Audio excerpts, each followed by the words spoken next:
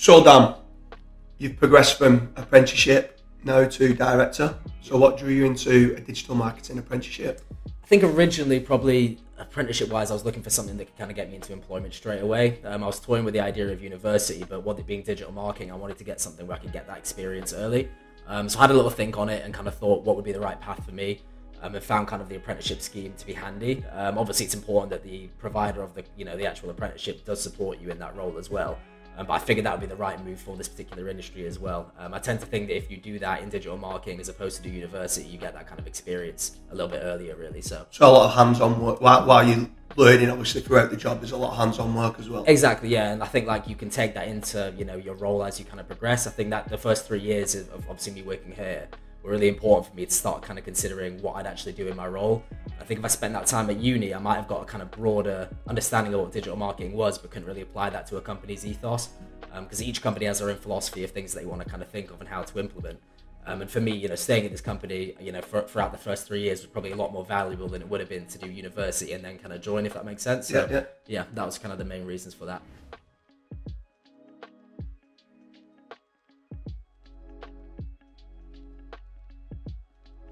So, how have you found the journey from apprenticeship to director? I've really enjoyed it. Um, it's not, it's obviously not not come without its challenges, as any kind of journey or any career does. You know, there's been times where it's been a little bit difficult um, in terms of you know developing with the company, maybe personally or as the company's developed. But over time, as I've kind of stayed here and learned, you know, the trade and obviously the company's developed, it's all been really, really great. Um, I think in that time, there's been a kind of learning lesson for me of kind of understanding maybe not to get too obsessed with failure and kind of think about failure as kind of a learning curve and actually how to develop from that. And I think with that mentality and kind of applying that to what we're doing now, we've seen a lot more success as a company, not just individually, but I think as a team, we've all kind of found that that's been important for us.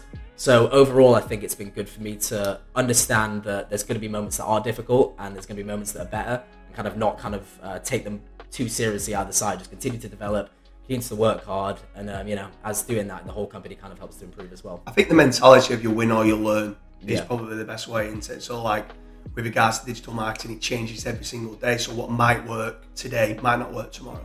So sometimes the failures aren't failures today, it's just the algorithm's changed as well. So I think the mentality within the office of knowing that, I think that's what makes it good for the whole team to be looking to always every single day as a school day. So it yeah. works well. Yeah, absolutely.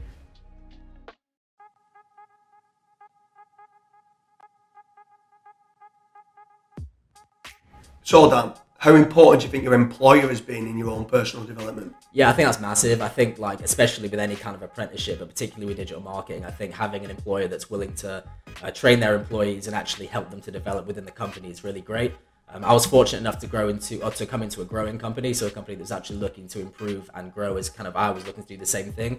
So the marriage was kind of there at the start, um, and as the company started to understand more about digital marketing, I did as well. So I felt like I could implement certain things, and the company was teaching me certain things. I mean, obviously, from a managerial point of view, it's important to have a manager that actually really cared. I think there's a lot of times where people uh, start apprenticeships and they have managers that are kind of selfish or doing it for their own reasons and not really thinking about either the long-term growth of the company, but probably more importantly, the long-term uh, growth of the actual person in the role.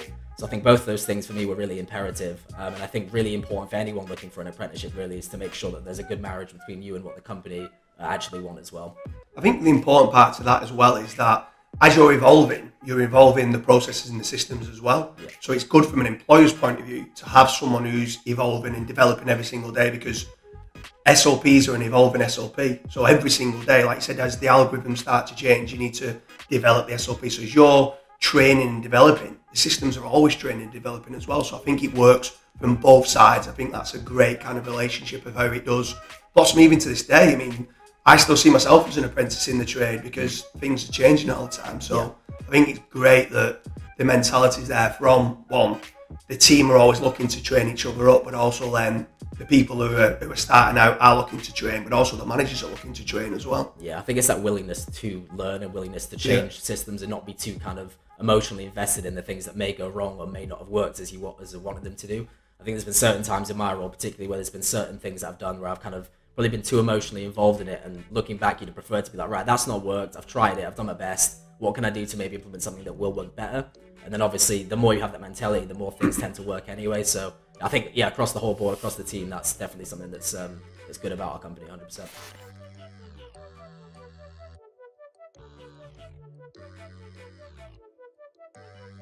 So, Dan, what have you enjoyed about the journey to being a director? I think the thing, honestly, that I've enjoyed the most is just being able to kind of create uh, professional and personal relationships with the people that I work with. Um, I'm lucky enough to be in a team where everyone kind of strives for the same goal. And whilst it's kind of professional, everyone always gets on and kind of is there to support each other, which is really nice. Um, I think being in a team like that is important from not just from a work perspective, but just kind of an atmosphere perspective. I think that's something you've kind of instilled and trickled down to everyone, which is a really great thing to actually be able to do as boss. And then something that I've kind of been motivated by and wanted to kind of do more of as part of the team as well. And I think the more we can all kind of come to that goal of being collectively together is a really good thing for any business. So I'd say honestly, over the over the eight years or so I've been here, that's definitely been the the main thing for me. And then obviously seeing the improvements that we've all made together as a team is really rewarding for myself. So yeah. I think what I like what the most about what you said then is you kept mentioning team, team, team, and it is a team effort. Yeah. If people try and do what we've done on their own, there's no chance. There's that many moving parts that you need to have it as a team environment Yeah. that can take it on to the next level because these people are testing within the algorithms and giving people updates of what they need to be doing. The people that are at the front line doing the work won't have the latest kind of checks in place of what they need to do. Yeah. Plus, obviously, there's so many moving parts. Who, who might be good at writing content, might not be good at analytically at doing backlinks and stuff like that. So I do, I love the fact that you keep saying it's a team effort because it is. SEO is a team effort. Yep.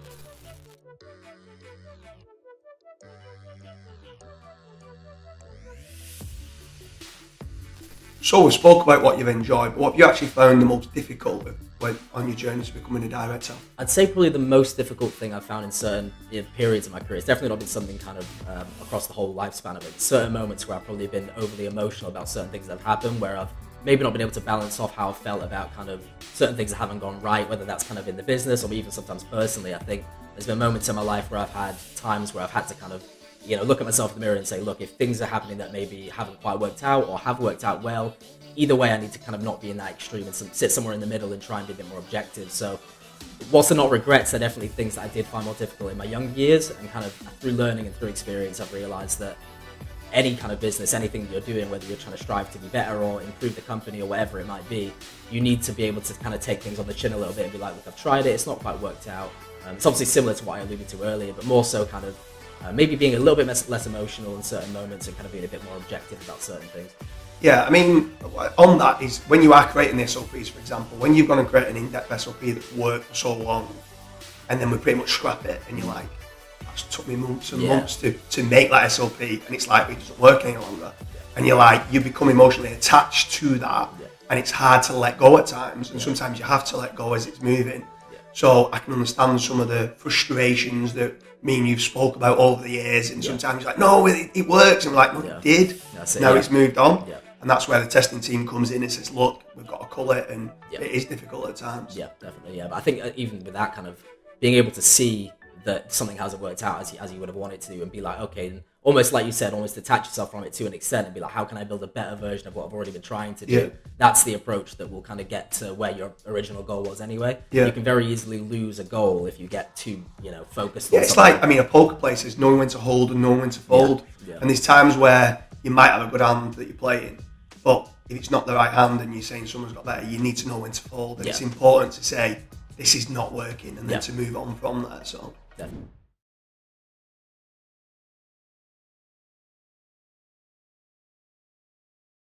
So from being apprenticeship, how has your role changed to now being a director? it's changed a lot obviously from an apprenticeship kind of standpoint when you any apprentice is kind of starting in a company you're learning kind of the ethos and the philosophy of the company and what they're actually doing as a company and kind of the way they operate uh, in certain segments. So whether in our case it's digital marketing in another case it might be finance whatever it might be. You're kind of picking up the you know the trade as you would do at uni really. You're learning a new topic and kind of getting it in depth um, I'd say once you come out with the apprenticeship, at least for me, you kind of you should really have a good understanding of what the company is and what they do, as long as they've trained you well. So that's kind of when you're finding your feet. I think for me personally, I had kind of a lot of experience doing off-page stuff, and like we just spoke about in the last question, kind of there were certain things without that weren't quite working out. And as the company was developing and building, kind of you know there was elements of things that were happening that weren't quite working the way we were, uh, we wanted it to. Sorry.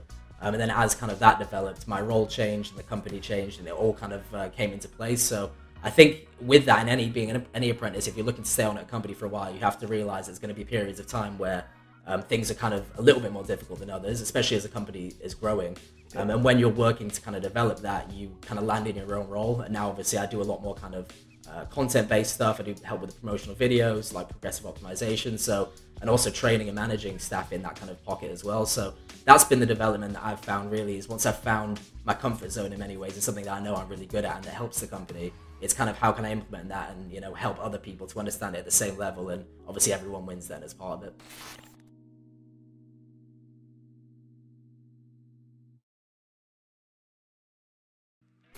So, what would your advice be to someone looking at apprenticeships now or looking maybe to go to university? What advice would you give that person? I think first and foremost, it's obviously choosing the right industry. That's the case for uh, anyone really who's looking to do an apprenticeship. It's, it's the case. It's the same for uni as well. If you're looking to do uni or be an apprentice, you really want to make sure you're doing the right thing for you and making sure that that's kind of what you want to do in the first place. But almost as important as that is making sure your employer kind of cares about you and wants you to kind of succeed and wants you to grow within the company. I think there has to be a, um, a, a long term goal of what your role could be, even if you don't know exactly what it would be at the time. I think your employer, if they have that long term goal with you and they want you to improve like that, that's that's the kind of person you want to work for. That's the kind of company you want to work for. Someone that really cares. Um, and then understanding that you have to put in the same level of effort yourself. It can't be a one way street where the company's giving you everything and you're not even attempting to, you know, push it forward. If you have that kind of love and care from a company, you need to show it back and show you're ambitious and try your best to learn and be willing to fail. And it's definitely a two way street in that sense. But so, so on that, on the question of let's say for digital marketing as an example, yeah. Um, is there a reason why you'd probably go on the apprenticeship route in digital marketing than university? Yeah, definitely. I, I, think it's one of those roles, and there's there's probably not many that are like this, but it's one of those roles where it's so much better to just get on the job and start learning it. And particularly at certain companies, because everyone does it differently. There's certain companies that will be more PPC focused, for example. Uh, some that are more kind of um, you know just purely SEO focused and organic ranking, and they all do it in different ways. There's all sorts of different techniques that other people are doing and that you're learning from. We know here we work with so many different people who help us to come up with different ideas and vice versa. So I think it's one of those where it's so much better to be within the experts in the industry, learning it on the job, as opposed to learning probably an outdated version of it that uni are kind of pushing of you know a generalized version of yeah. digital marketing. I don't think that really can then be that applicable when you go to another company, um, in my opinion. So I think probably much better to yeah, and I can completely agree. If if someone wrote the university kind of course today, mm. and it's the most recent up to date course that there is, which it won't be. Let's say it was. That by the time you've completed it in three years' time, it's three years out of date as a minimum now. and that's if it's absolutely up to date. Where majority of the courses or the majority of online stuff that you learn is years out of date already. So you could be you could be learning stuff that's seven, eight years out of date. So in in digital apprenticeships, I genuinely feel like you said, you learn on the job. Every single week, we're adapting SOPs. So how can you learn something two, three years ago at a university and think that it still applies in today's exactly. market? Yeah, I mean, if you look, look at our company three years ago, what the practices that yeah. we were doing, they might have worked then, but as the whole thing evolves, you have to move with the times. And yeah. like you said, they're probably teaching the same course really with slight adaptations each yeah. year. So what can you really, what more can you pick up from that as opposed to actually being on the job and learning it? So yeah, as, a, as a, a digital marketing apprentice, I think it's definitely the way to go.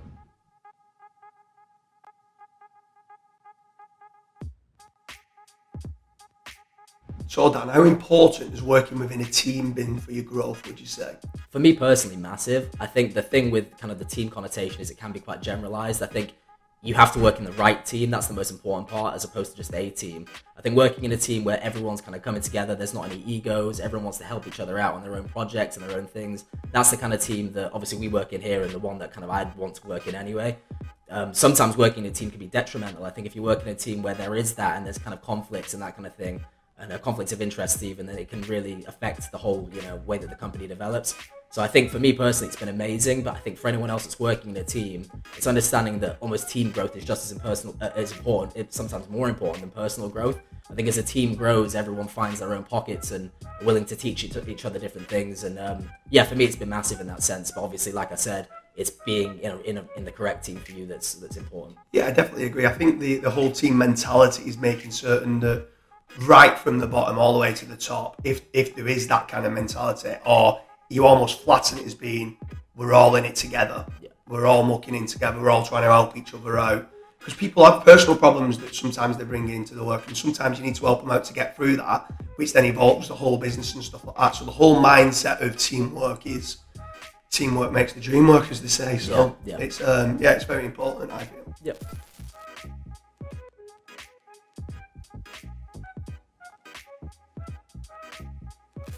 So along the journey, what not new challenges now are you bringing to the table with regards to the directorship? I think probably now my biggest challenge, or at least something that's kind of newer to me, is kind of making sure that the systems and processes that I actually am implementing are kind of as clear as possible for other staff. Um, obviously, as we're kind of expanding as a company, we're bringing in new staff. It's really important that their systems are clearer than mine, for example. And not saying mine weren't clear, but if you can keep improving that along the way, and then they teach people in a clearer way, then everything just kind of grows in that manner. Um, I think having new staff that have joined with us, kind of um, being exposed to brand new things and quite a heavy topic really of digital marketing, where there's a lot that we're doing. It's yeah. important that that's simplified as much as possible, and that the systems are very kind of step by step, so they can work through everything. It's all really clear, and that there's no real gaps in kind of what we're doing, and everything's kind of uh, you know watertight really. Um, that's yeah. probably the biggest thing for me in terms of a challenge, because I think a lot of the stuff that I'm doing personally is is building to kind of get to that level. And then once you're actually putting that out to other staff, it's making sure that you're happy enough with how clear the, the uh, processes are for them to implement. Yeah, definitely. I mean, it's, it's the whole E-Myth revisited type of model of being system dependent instead of people dependent. So probably is the most important part of a business. You almost make it franchisable. So as you're building one site and you're going to the next site, it's you've got them systems in place. You know, in from buying the domain to hosting the domain to the building of the site, or if it's an existing site, doing the technical SEO side of things, doing the content briefs, doing the content, the internal linking, the backlinks, everything all around the images, the videos, uh, social media, every single part of it. We've got a system in place to know how to make it the best it can be in the lowest amount of time as well, because time obviously costs money for the business. So yeah. the systems are the most important part. So it struggles for everyone in making certain we're refining those systems as much as we can. Yeah.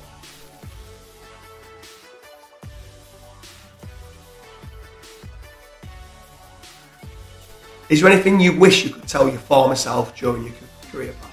I don't think I'd take anything back in the sense that I think all the growth was there for a reason, and I'm really happy to not sound too cliche, but you know, I'm happy with how things have gone and everything. But in terms of what I would probably do to kind of tell myself something that would probably improve kind of my growth and stuff, would probably be to you know not kind of ride the highs and lows too high. So if something does work, not think I'm on top of the world with it. And if something doesn't, think I've wasted all this time, I'm useless, yeah. etc. And kind of understand that process more. I think being quite an emotional person, it was being able to balance that out and almost make myself more objective and still kind of be in touch with my my emotions in work anyway. Um, in terms of the work that I'm doing and kind of what Im- what kind of impact that does have.